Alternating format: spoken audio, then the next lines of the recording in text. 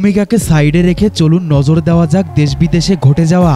এমন কিছু ঘটনার দিকে, যেগুলো হয়তোবা ক্যামেরাতে রেকর্ড না হলে কেউ যেমন বিশ্বাস করতে চাইতো না, তেমনি হয়তোবা অনেক মানুষ এমন ঘটনা দেখার সুযোগই পেত না।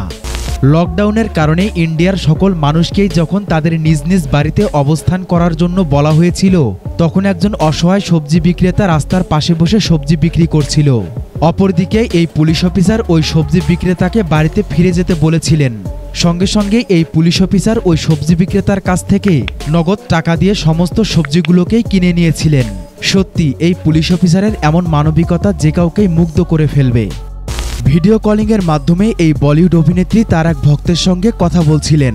একসময় এই অভিনেত্রী তার ওই ছেলে ভক্তকে প্রশ্ন করে বসেন যে, তিনি জীবনে কি হতে চান? এমন প্রশ্নের উত্তরে ছেলেটি বলে যে, সে ডাক্তার হতে চায়।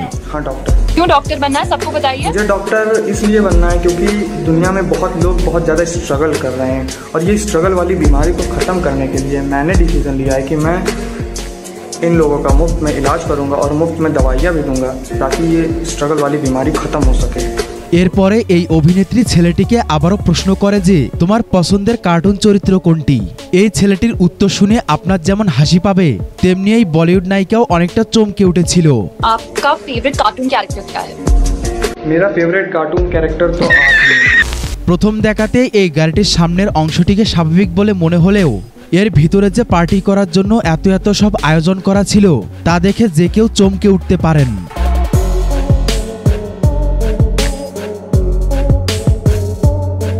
গত কিছুদিন আগে চায়নার একটি নদীতে এই মানুষরূপী মাছটির সন্ধান পাওয়া গিয়েছিল, যেটা দেখতে অনেকটাই মানুষের মুখ আকৃতির ছিল।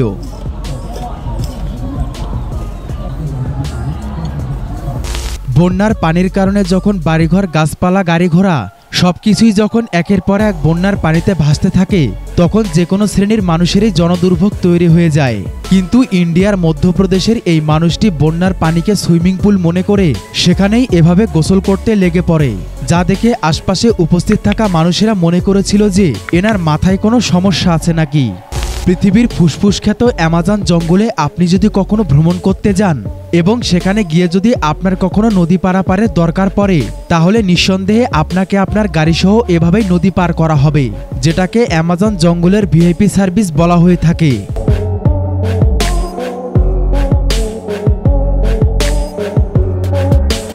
এখানে বয়ফ্রেন্ড আর গার্লফ্রেন্ডের মধ্যে কোনো একটা বিষয় নিয়ে তাদের মধ্যে উচ্চবাচ্য হচ্ছিল। আর মেয়েটি অতিরিক্ত রাগের কারণে সে তার বয়ফ্রেন্ডের গাড়ির উপরে অনেকগুলো ময়লা আবর্জনাকে তুলে দিয়েছিল।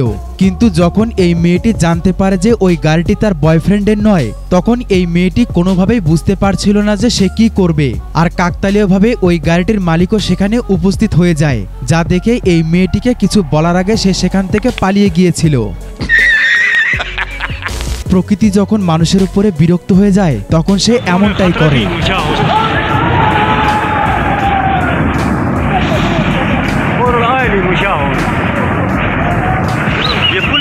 गया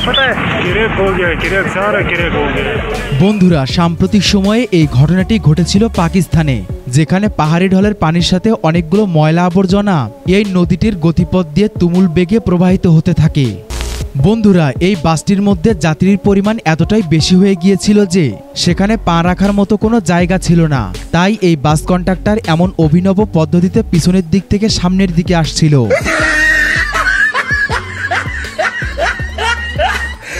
ইন্ডিয়ার এই মানুষটির পায়ের সাহায্যে করা এমন কর্মকাণ্ড দেখে এনাকে বলা হয়ে থাকে হেলিকপ্টার ম্যান।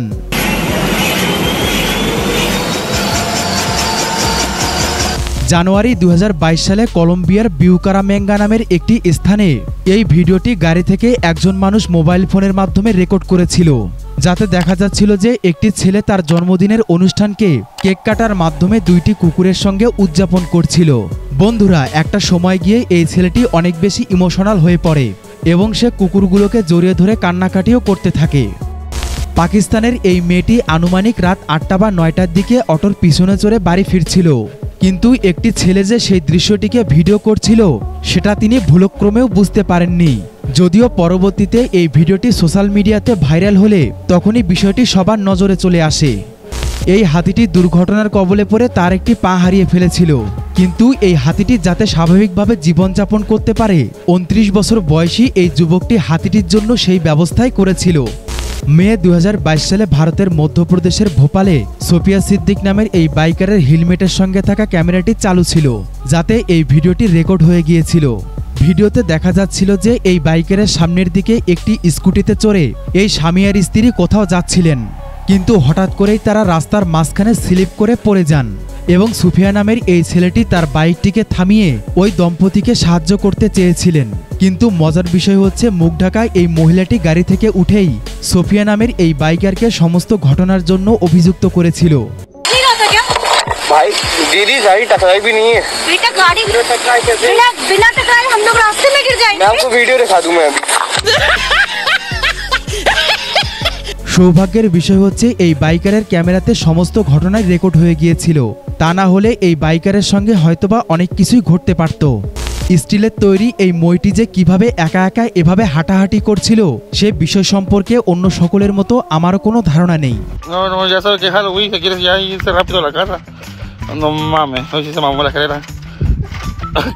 পৃথিবীতে এমন কিছু গাড়ি আছে যেগুলো যে কোনো দুর্গম রাস্তাঘাটে চলাচল করার জন্য একেবারেই উপযুক্ত।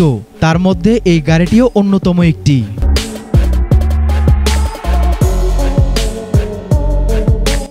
বন্ধুরা, যে কোনো কোম্পানির ডেলিভারি ম্যানদেরকে অনেক কষ্ট করে হলেও সর্বদাই তাদের কাস্টমারদের মুখে হাসি ফোটানোর জন্য তাদেরকে অনেক পরিশ্রম করতে হয়। দিল্লির এই ডেলিভারি বয় যখন তার কাস্টমারের কাছে মালামাল নিয়ে পৌঁছে গিয়েছিল, তখন ওই কাস্টমার এই ডেলিভারি ম্যানের সঙ্গে এমনি এমনি অনেক দুর্ব্যবহার করে ফেলে। সঙ্গে সঙ্গে কোম্পানির দেওয়া চোদ্দ হাজার টাকা দামের একটি মোবাইল ফোনকেও ওই কাস্টমার একেবারেই ভেঙে ফেলেছিল, যার ফলে এই অসহায় ডেলিভারি ম্যান পুলিশকে এই বিষয়টিকে জানিয়েছিল আর তাৎক্ষণিকভাবে পুলিশ ওই অভিযুক্ত ব্যক্তিকে গ্রেপ্তার করেছিল।